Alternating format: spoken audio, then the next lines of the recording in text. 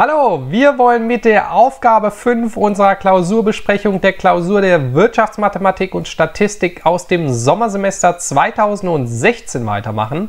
Und falls du neu dabei bist, ja, ich habe dir unten auch nochmal in die Videobeschreibung verlinkt, wo die anderen Aufgaben zu finden sind. Allerdings solltest du auf jeden Fall dabei bleiben, denn jetzt geht es eben um die Aufgabe Nummer 5 es wird jeweils immer schwieriger, wobei die Aufgabe Nummer 5 eigentlich recht gut zu bewältigen ist. Zuvor vielleicht nochmal die Hinweise, also falls ihr im Grunde die Originalklausuraufgaben auch sucht, die findet ihr immer im Moodle-Bereich des jeweiligen Moduls. Noch dazu werden jetzt die besprochenen Aufgaben von mir etwas abgeändert sein, hat urheberrechtliche Gründe, ja. Deswegen, ich darf leider nicht ganz die Klausur besprechen. Ähm, direkt die Aufgabe, allerdings stimmen natürlich die richtigen Buchstaben überein und der, und der Aufgabentyp ist exakt identisch. Das heißt, ihr bekommt jetzt erstmal mit, ähm, wie die Lösungswege in Wirklichkeit zu errechnen sind. Und natürlich gebe ich dann am Ende auch nochmal die Lösung, die du dann in der Originalklausur herausbekommst oder ihr, ja, gebe ich auch nochmal bekannt, sodass ihr eben dann nochmal nachrechnen könnt, ähm, ob ihr auch wirklich alles verstanden habt. Legen wir also los mit der Aufgabe Nummer 5. Und zwar, ein Unternehmen stellt zwei Produkte A und B her, wobei X die herzustellende Menge von Produkt A ist und y die herzustellende Menge von Produkt B bezeichnet. Ja? Dann die Gewinnfunktion des Unternehmens lautet gx ist gleich 30x plus 18y minus 0,4x Quadrat minus 0,08y Quadrat minus 0,12xy minus 1000. Dann die maximale Produktionsmenge beträgt 700. Die Nebenbedingung lautet x plus y ist gleich 700. Hier ist glücklicherweise die Nebenbedingung angegeben. Ja, wir haben ja gerade gesagt, x ist die herzustellende Menge von a und y ist die herzustellende Menge von b. Und wenn die Gesamtproduktionsmenge 700 betragen darf, so ist x plus y gleich 700 eben unsere Restriktion in diesem Fall. Das heißt, wir können nicht mehr produzieren. Dann zur Vereinfachung gilt, x und y ähm, sind reelle Zahlen und es ist das Gewinnmaximum unter Berücksichtigung der zusätzlichen Nebenbedingungen zu bestimmen. Ja? Und was sollen wir jetzt machen? Bestimmen Sie die wahren Aussagen des Sachverhalts unter Verwendung der Lagrange-Methode. Ich hoffe, die sagt Ihnen was. Ja? Und zwar sollen wir folgende Aussagen überprüfen.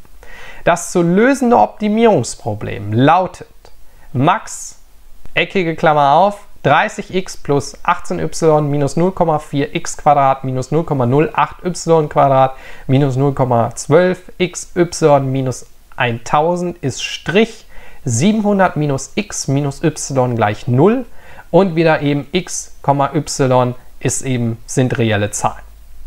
Aussage A zu prüfen.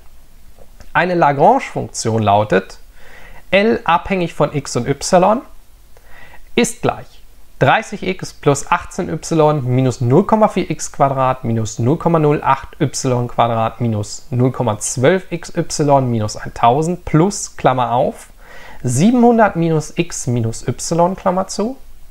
Dann die erste partielle Ableitung der Lagrange-Funktion nach x lautet, L abgeleitet nach x ist abhängig von x, y und Lambda, ja, ist gleich 30 minus 0,8x minus 0,12y minus Lambda gleich 0.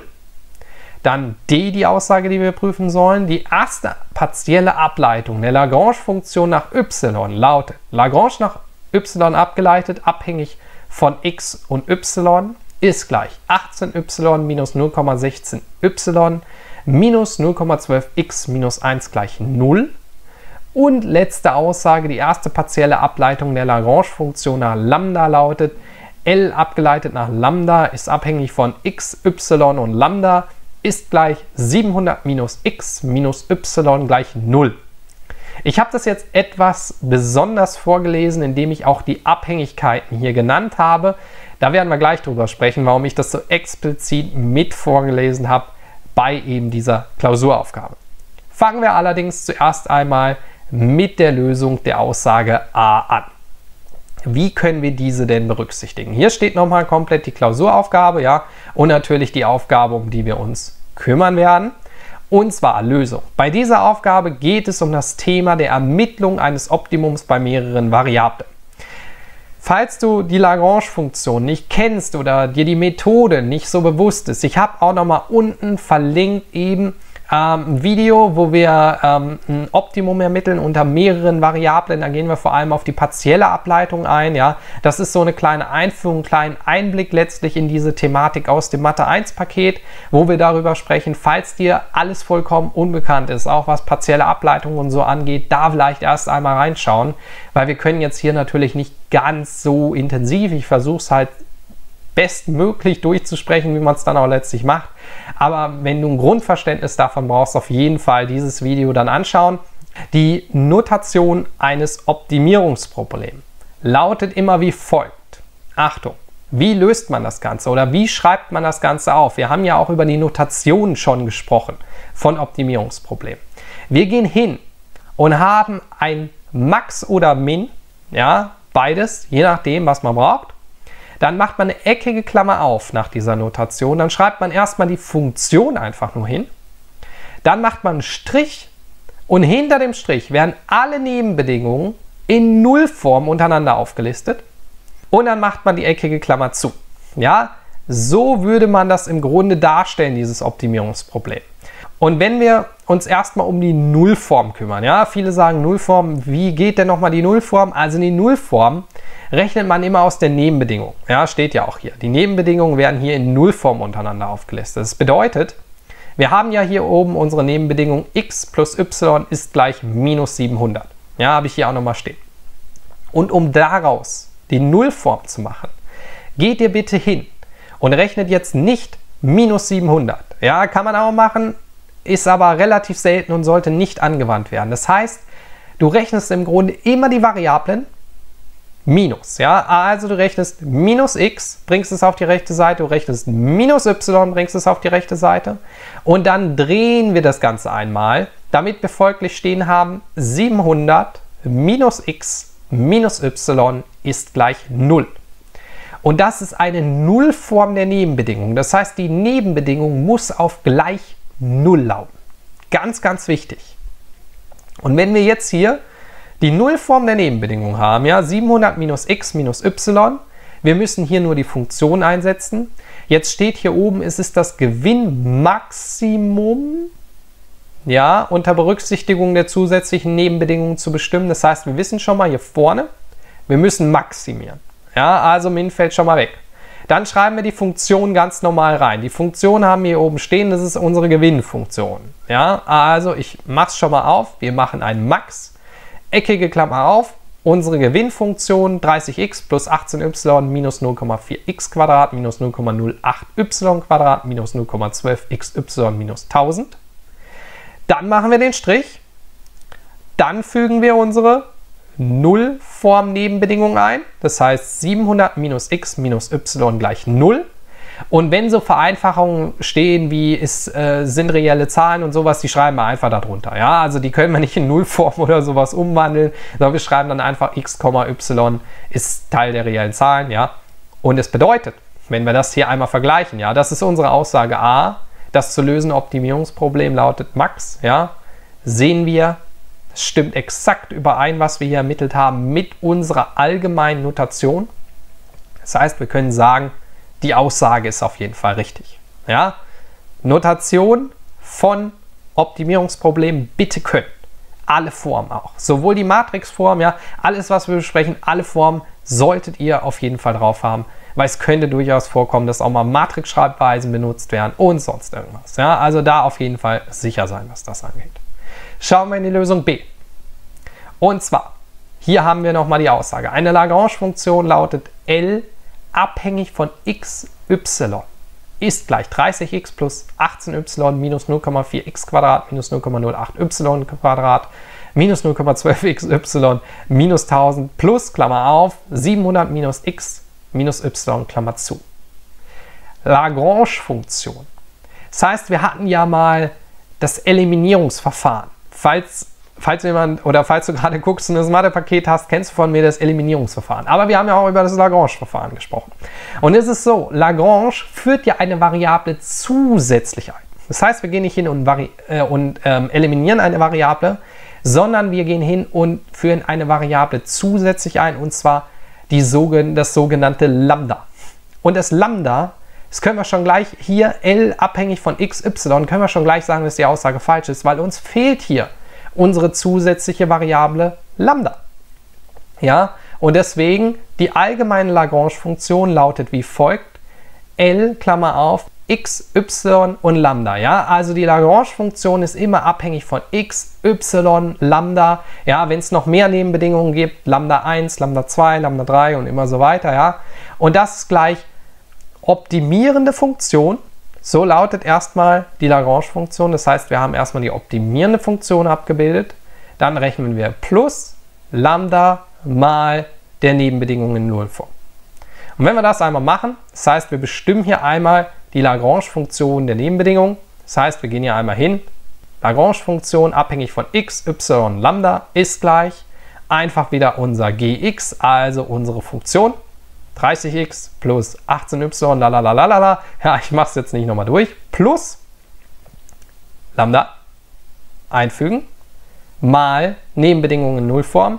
Nebenbedingungen in Nullform hatten wir bestimmt einfach hier ja minus y minus x haben wir gerechnet, also 700 minus x minus y. Und wir sehen jetzt hier, dass die Aussage in der Klausur wirklich einfach nur das Lambda fehlt. Und da bitte absolut drauf achten. Ja, sehr tricky, sehr fies eigentlich vom Lehrstuhl. Ja, ähm, dass hier einfach nur eine Variable vergessen wurde, schnell mal. Und ansonsten stimmt diese Funktion wirklich überein. Es ist nur dieses kleine Lambda, was hier ausgeblieben ist.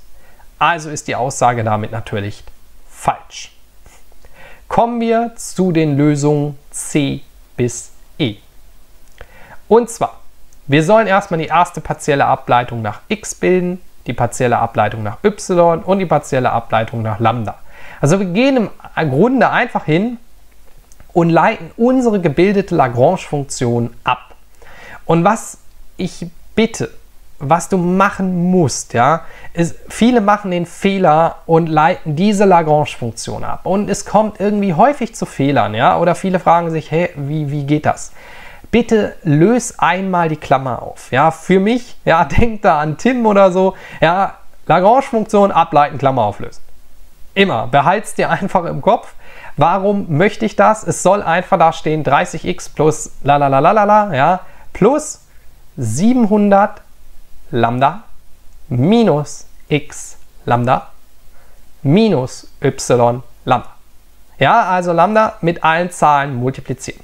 Und das möchte ich, dass du das nur ableitest. Diese Funktion, die hier steht. Und das werden wir jetzt auch machen. Und wir sollen zuallererst einmal nach x ableiten.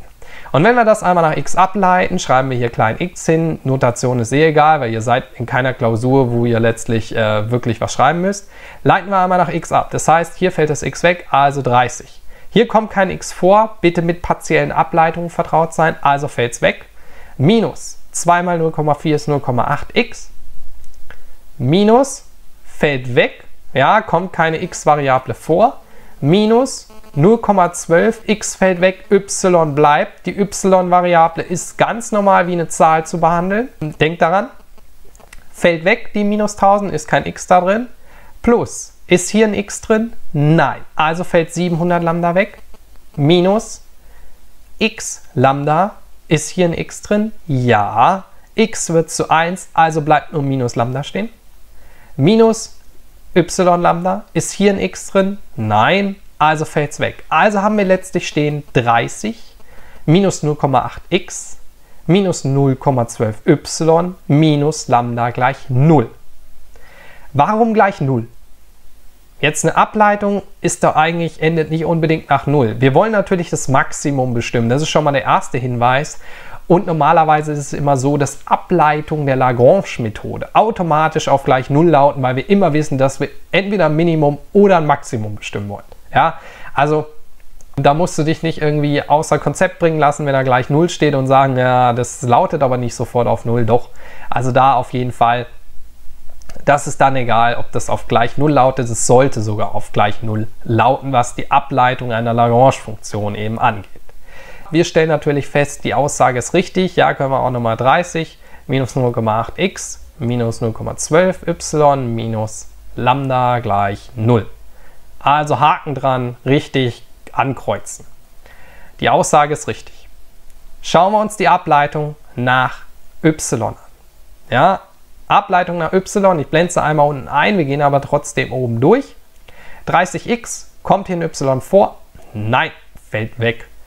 18y, kommt ein y vor? Ja, y wird zu 1, also bleibt einfach nur 18 stehen. Minus 0,4x Quadrat kommt ein y vor? Nein, also fällt einfach weg. Minus 0,08y zum Quadrat, y kommt vor. 2 mal 0,08 ist 0,16y abgeleitet. Minus 0,12xy kommt ein y vor. Ja, y wird zu 1. x bleibt wie eine Zahl unbehandelt. Ja, also 0,12x minus 1000 kommt ein y vor. Nein, fällt weg. Plus 700 Lambda kommt ein y vor. Nein, fällt weg.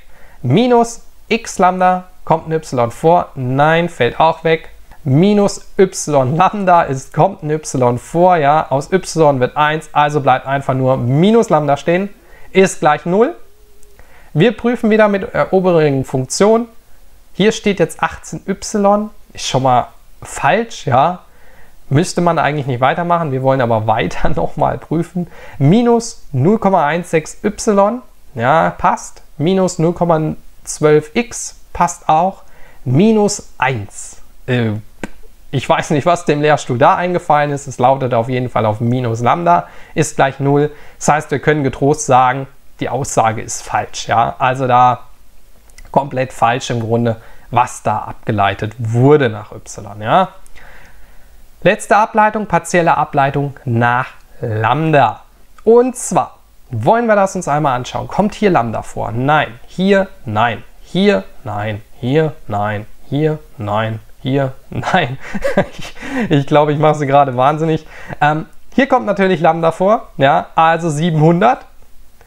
Hier kommt Lambda vor, also minus x. Lambda fällt natürlich immer weg. Ja? Lambda wird hier immer zu 1. Und hier kommt auch Lambda vor, also einfach minus y ist gleich 0. Wenn Sie nach Lambda ableiten, bleibt im Grunde immer nur die Nebenbedingung der Nullform stehen. Weil das ist die einzige, die den Term oder die die Variable Lambda überhaupt hat. Und warum ich wollte, dass du die Klammer auflöst, es ist manchmal wesentlich leichter zu erkennen, wann minus Lambda hier hinkommt, ja? Weil viele machen da den Fehler und wissen dann nicht, wenn das multipliziert wird, was sie davon stehen lassen müssen oder sie lassen alles stehen oder sowas. Deswegen bitte immer einmal die Klammer auflösen, lässt sich wesentlich leichter ableiten, nicht mit irgendwelchen Klammern ableiten, ja? Kleiner Rat von mir, ja, dass es einfach leichter ist. Schauen wir es uns nochmal an. 700 minus x minus y gleich 0. Auch immer hier hinschauen, ja, wovon ist es abhängig? Von x, von y und von lambda. Das heißt, wir haben auf jeden Fall die richtige Aussage. Und das wäre es auch schon mit der Aufgabe. Ja? Also wir mussten eigentlich nur einmal die Notation können. Die bitte wirklich können. Danach natürlich das Aufstellen der Lagrange-Funktion und das Ableiten der Lagrange-Funktion ist eigentlich dann nicht mehr schwer. Einfach nach den ganz klassischen Ableitungsregeln und man ist schnell durch. Also die Lösung der Klausuraufgabe 5. A, C und E sind richtig, auch in der Originalklausur, und B und D sind falsch. Ja?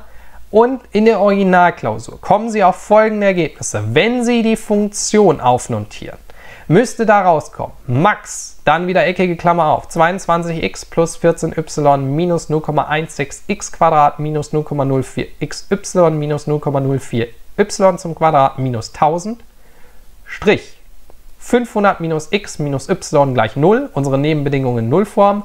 Und dann wieder einfach die Vereinfachung, ja, dass x und y reelle Zahlen sind.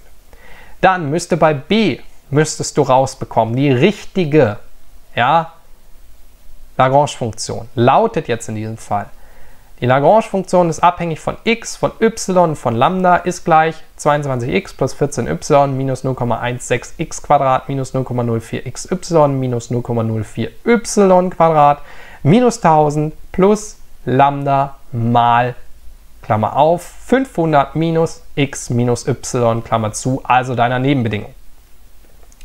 Das bitte wieder ausmultiplizieren hier. Dran denken, wenn du das machst mit der Originalklausuraufgabe.